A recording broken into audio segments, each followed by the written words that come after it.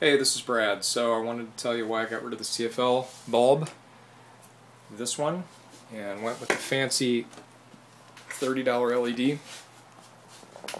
It actually looks pretty similar to um, to the CFL, so it's a 60 watt equivalent. It's using uh, 13 energy watts and it's 950 lumens, so the CFL was like 800 lumens. Uh, this one is a lot closer to daylight on the daylight scale. Okay, and this one has 25,000 uh, life hours where the CFL had 8,000 life hours. So this is three times more life hours, but it's also three times more expensive. This says it lasts 23 years. Not sure. But here's the real reason.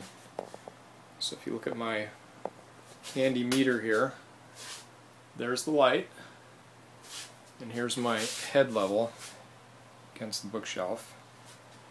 Okay, we're going to look at the uh, meter as we get closer and closer to the light. And it's not until we're almost right up on the light that you see any movement from the meter.